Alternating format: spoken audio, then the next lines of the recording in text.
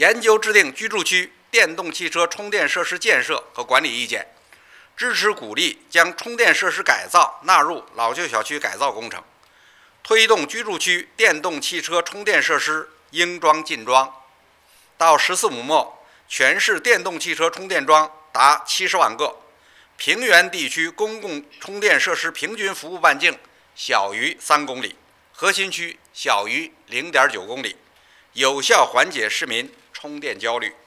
为免满足电动自行车安全充电需求，保障市民群众生命财产安全，力争二零二二年底前基本实现全市居住区电动自行车集中充电设施全覆盖。